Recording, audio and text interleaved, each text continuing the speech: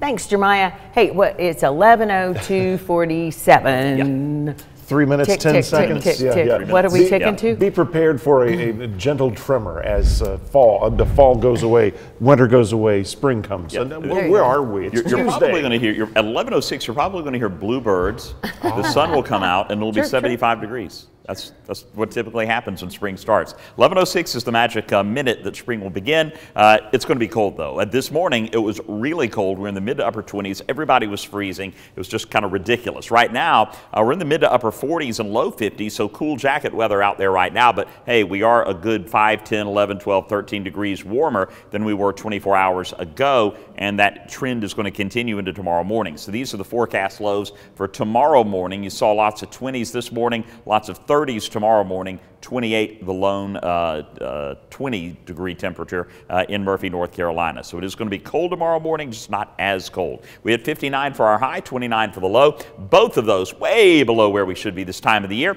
And just about everybody was in the 50s today, save Soddy Daisy. Look at that. 61 degrees. My goodness. 59 in Riceville, 56 in 10 Mile. Getting the kids out to school, they'll still need to bundle up tomorrow morning. It's going to be 37 degrees in Chattanooga. Lots of sunshine, warming up to 66 degrees by 3 p.m. as we wrap up the school day. But uh, we're going to keep on going. We'll actually have a high of 71 tomorrow, 69 on Thursday, and then rain on Friday, keeping us a little bit cooler, and then mid to upper 60s over the weekend into the beginning of next week. The average high is 65 degrees. Overall, we're going to be about 4, or 5, 6 degrees warmer than that through the week, guys.